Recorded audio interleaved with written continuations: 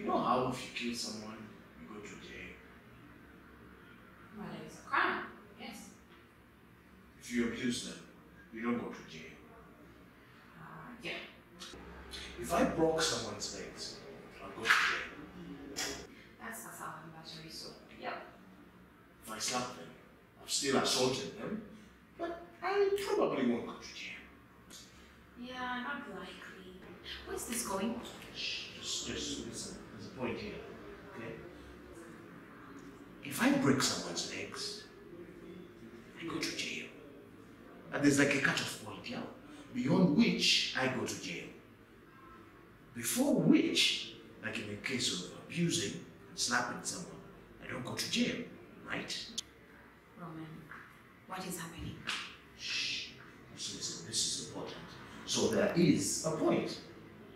If instead of breaking the leg, I bruise the leg, or I break a toe, there's a line. That's what I'm trying to say.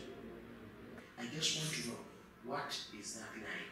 Because I want to inflict as much pain and suffering as possible without going to jail. I mean, what if it's four slaps? Yeah? Two slaps, very painful.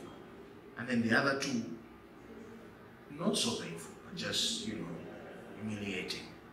Yeah? If I do those four slaps in a day, does the clock reset for each day? Or do they accumulate? Because you can't go to court and say, Your Honor, he slapped me 40 times. When I actually slapped you just four times a day. Okay, what did he do this time? You know what? Don't tell me. Because if it's a very petty reason, I am going to judge you so much. Oh, you're probably going to be even more pissed off than I am if you knew what it is. You know how we overtimers never find sugar? Like, man, I don't even know why that company does. Are they putting us on a diet? I saw him. I saw him. He comes in at exactly six o'clock and he puts the sugar in a bowl. What do they call those things? A good tiffin. He puts it in a tiffin and he takes it home. And then for us now, we have to drink chai and the. Okay. Okay. Okay. Roman, this is what we're going to do.